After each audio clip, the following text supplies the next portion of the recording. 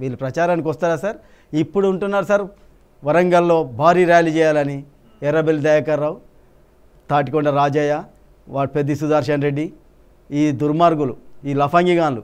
ఎర్రబెల్లి దయాకర్ రావు ఏమంటాడు సార్? తాగి అయినటువంటి తాగి ఉన్న బీర్ సీసాలతోని గ్రామ పంచాయతీ పనులేరుగా తీసుకోవాలంటావురా రాస్కేల్? ఏం మాట్లాడుతున్నావురా నువ్వు? చెప్పు తీసుకొని కొడతావు రాస్కేల్ ఎర్రబెల్లి దయాకర్గా. ఏం మాట్లాడుతున్నావురా నువ్వు? బుద్ధి ఉందారా జ్ఞానం ఉందారా దొంగ? మేము బీసీ ఎస్సీ ఎస్టీలో మిడితే అక్కడ ఉన్న సర్పంచ్ సీసాలు ఏరుకొని వస్తే అక్కడ ఖర్చులు ఎలా తీసుకోవాలరా ఏం మనుషులరా? రాజుగాడు ఏం మాట్లాడతాడు?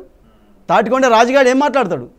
వాడు ఇష్టం ఉన్నట్టుగా వాడు మన పర్సనల్గా ఉన్నా కూడా మన ఇష్టం ఉన్నట్టుగా మహిళలను ఇబ్బంది పెడతాను నువ్వు నీ తమ్ముని ఇబ్బంది పెడతానని సోషల్ మీడియాలో వచ్చింది.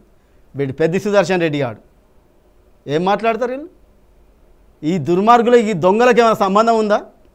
ఇప్పుడు తాగి పడేసిన ఖాళీ సీసాలు ఉత్తగా మోర్లో పోయే ఎందుకు ఎత్తుకొచ్చి మేము గ్రామ పంచాయతీలు నడిపిస్తున్నాం అంటాడు దయాకర్ రావు. దీన్ని దయాకర్ ఎర్రబెల్లి దయాకర్ రావు గారిని once I'm telling you Errabelli Dayakar గారిని ఎర్రబెల్లి దయాకర్ రావు కానీ బట్టలు ఉడబెక్కి కడ్రాయర్ మీద హన్మకొండలో కొడతాం బిడ్డ. ఏమైనా బుద్ధి ఉందారా రాస్కేల్ బీర్ సీసాలు అమ్ముకొని గ్రామ పంచాయతీ అంటేనే రాజ్యాంగంలో ఉన్నటువంటి రాజ్యాంగంలో ఉన్నటువంటి ఒక గొప్ప బేస్ రాది స్థానిక సంస్థలు. వీడు పోయి బీర్ సీసాలు అమ్ముకోమంటాడు. వాడు ఏం మాట్లాడతాడో తెలియదు ఎర్రబెల్లి దయాకర్ గారికి. వాడు రాజుగారికి ఏం మాట్లాడతాడో తెలియదు రఘు గారు నేను చెప్తున్నా కదా ఆవేశంతో చెప్తట్టేది విద్యార్థులను ఉన్నటువంటి వాళ్ళ బాధ గాథ వీళ్ళను బట్టలు ఉడబికి తన్నే రోజులు వస్తాయి. ఇప్పుడు ప్రచారానికి వచ్చింది అనుకో ప్రచారానికి వచ్చింది అనుకో టైంతో సహా చెప్తున్నా ప్రచారానికి వీళ్ళు వచ్చిందనుకో వీళ్ళ బట్టలు జింపుడు ఖాయమవుతుంది. ఎక్కడ ఆపలేరండి.